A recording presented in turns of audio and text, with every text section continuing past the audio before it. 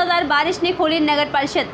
रेहटी की पोल, वहीं बता दें घर एवं दुकानों में घुसा पानी, नागरिकों को हो रही परेशानी। ड्रेनेज सिस्टम सही नहीं होने की वजह से नुकसान मामला रेहटी नगर परिषद का है। बता दें कि रेहटी का कल से हो रही भारी बारिश की वजह से जनजीवन हुआ अस्त व्यस्त। वहीं रेहटी की कई दुकानें घरों में घुसा पानी, वर्षों का पानी घुसा रात में बता दें कि तेज बारिश हुई जलभराव होने के कारण पूरे रेहटी नगर में मेन रोड बाज़ार पर भी तीन दिन से बता दें कि तीन तीन फुट पर पानी भरा हुआ है और रोड मार्केट तालाब नज़र आ रहा है, जिससे बहुत से दुकानों में पानी भरने की वजह से लाखों रुपए का नुकसान भी हुआ। कुछ घरों में भी चार फीट पानी भर गया है। खाने पीने का भी सामान डूब चुका है। बता दें कि रेहटी के प्रमुख समस्या निकासी सही नहीं होने की वजह से खमियाजान नगर के लोगों को भुगतना पड़ रहा।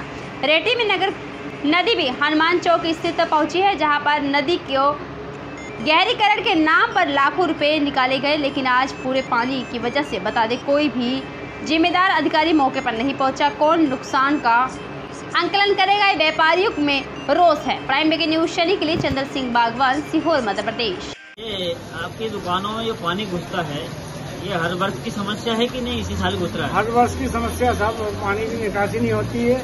हर साल एक लाख के आसपास का नुकसान होता है तीन साल से यही हो रहा है। सभी दुकानदारों का यही हाल है? सभी दुकानदारों का यही हाल। क्या क्या कारण है प्रमुख? क्या होता है? नाली की सफ़ाई नहीं होती नाली चोर हो जाती है पुलिया की समस्या है पुलिया भी नहीं है तरह में नालियाँ चोर होती है। आपने सीओमओ या नगर पंचायत में बताया हर बार? कई बार हमने शिकायत करी पर उसका कोई हल नहीं है पानी आपके ये साढ़े तीन बजे रात चार बजे रात से पानी घुसा था अभी उतरा ही नहीं है पानी।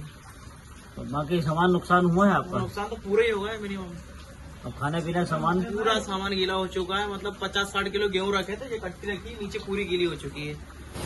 हरियाली जी ये बताइए आप दोबारा पार्षद बने हो और ये रेहटी में ये समस्या डोनेट की ये हो रही है इसका इसका क्या कारण है प्रमुख? इसका कारण ये है कि पिछली परिषद में ड्रेनेज को लेकर एक एस्टिमेट बनाया था जो पास हो गया था लेकिन किसी कारण से वो पूरा नहीं हो पाया। आप अभी सुबह से घूम रहे हो, यहाँ मौके पे कोई अधिकारी नहीं है, ना तहसीलदार है, ना सीओमओ है, ना पटवारी है तो- ये नुकसान का आकलन कौन करेगा फिर?